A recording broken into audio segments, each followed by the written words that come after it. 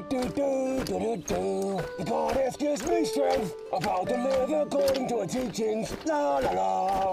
Look, it's a paladin praising his deity. Huh? Ah, that's so creepy. I bet he's all lawful and good. hey, old human, don't you know that Gregok, the goblin god of greed and chaos, is way stronger than your stupid goddess? Ew, he's staring at us. I bet he wants to forcefully convert us to his religion. He's such a zealot. Heathen goblin brats need correction.